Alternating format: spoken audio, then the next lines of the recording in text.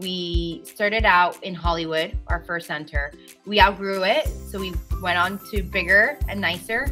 It's exciting that the original little center that could is now this ginormous super center.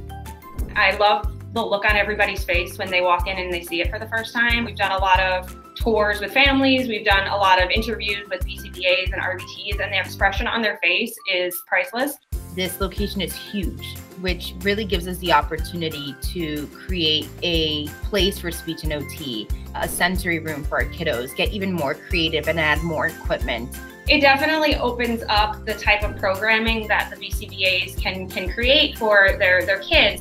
We have a really big LRP room too, which is going to open up the amount of kids that can be in the LRP program as well.